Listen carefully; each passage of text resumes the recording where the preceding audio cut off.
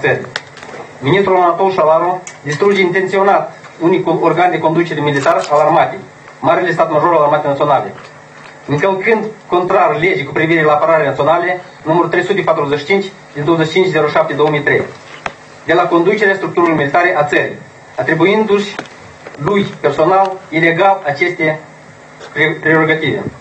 Totodată, prin acțiuni echipzuite și în determinul asigurării securității militare,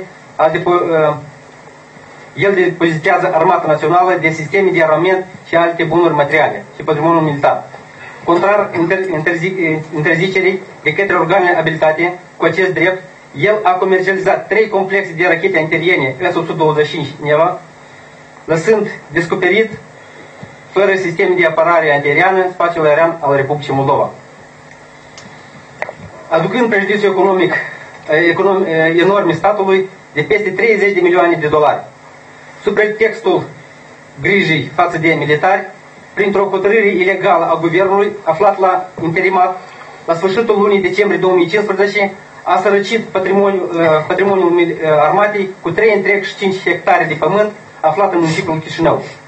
2 întreg 7 milioane de lei este costul daunii adause bugetului armatei prin procurare stofii necalitative pentru confecționarea ținutei militare a militarilor în termen.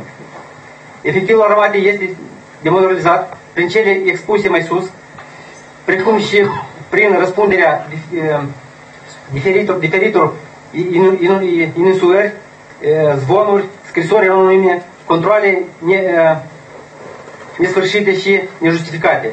Inițierea neîntemeiată a mai multor dosare ofițerilor profesionaliști și devotați patri.